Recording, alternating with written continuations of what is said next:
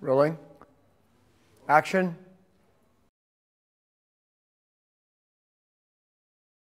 Well, it's common, falling in love with Italy is the combination, I think, of the people here, the, you know, the incredible landscape, the, um,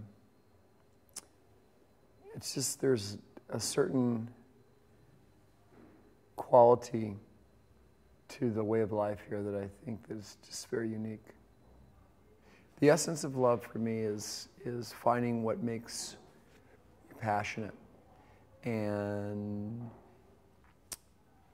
and allowing yourself to, to be involved in what those passions are and how you can, you can you know, store that and you know, place that into uh, you know, your, your, every minute that you live your life and um, whether it, it be with somebody or the things that you love to do or the things you love to, to experience, you know, those make up the, you know, the idea of love for me. Part of my job is, as, you know, artistically and as a photographer, the responsibility of that is to be able to explore and study the people that I'm, I'm working with and to kind of unfold the things that are appreciated and, and valued about who they are and what they bring to the world, their contributions. And whether it's a portrait or whether it's a, you know, a vignette, you know, for me it's all about uncovering that little essence of who that, that person is and to be able to pass that on to somebody who's actually viewing the photograph as well. I have many loves in my life. I have love for my family. I have the love for, you know, my friends and for the people who I spend a lot of time with and who I meet along, you know, this incredible journey.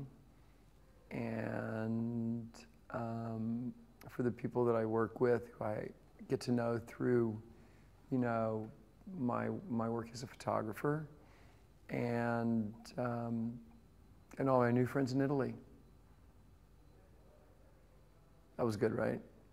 You know, working with a lot of these, you know, our talent, working with our talent, you know, and trying to, you know, direct them to a place to where uh, there's a connection to these two people has been um, a lot of fun. And I think the part of you know me as a as a photographer to be able to you know contrive a situation where it feels believable and to also you know create a little story uh, and a, and, uh, and tell that tell that story um, is you know is really like the obligation of this you know, the idea here. And, um, you know, you, you need good people, you need good actors to be able to, to convey that as well. So I think that the people that we chose were the right people because, you know, they found that connection. And I, I also think that it's one of the easiest things to do is to allow yourself to be vulnerable and to place yourself into a situation where, you know, even if just for a second you connect with that other person. And, um, and just fortuitously, it all worked out with, with you know, the great subjects that we, you know, we brought here together. Let's hope so. Let's hope that a, a couple of interesting things sort of happen from these little, these little intimate photographs. And maybe they'll inspire other people as well. The first time I I think the first time I fell in love was when I was 13. And uh, she was my best friend, but I was too shy to tell her that I was in love with her. So I just kind of had to be her psychotherapist and, you know, sit there and listen to all of her annoying problems, boy problems and then finally, I just couldn't take it anymore. So, you know, had to move on. I think for me, the, the, the thing I love about my job is that it's never the same job any day. You know, every every day is different, and uh, there's always a new, there's always kind of a new circumstance to to be a part of and to solve or to throw yourself into, and um, one of the the the real benefits of what I get to do is that you're always collaborating, you know, with with interesting people you know, like Rudy and Alice and uh, Lucia and, you know, Kristen Vallow and Michaela. They're all, you know, like all these people that we're, we're working with, you know, they contribute a part in order to make it, a, you know, the sum of the whole.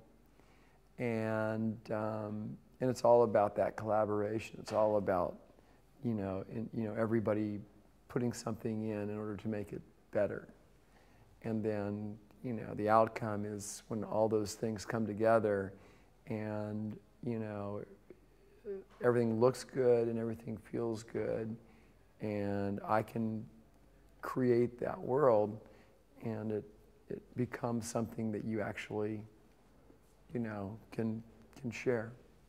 Well i think that for uh, you know chronologically i think that music as a kid, music came first. I didn't really know about photography until I was, you know, somewhat of a teenager. Um, but when I was, you know, probably 10 or 11 years old, I had two older brothers, and they both really loved music, and uh, you know, and you couldn't help but be in, you know, to find something uh, that that uh, that fell upon you from you know just being around them. And, um, you know, my really early moments of music were uh, probably in the 70s.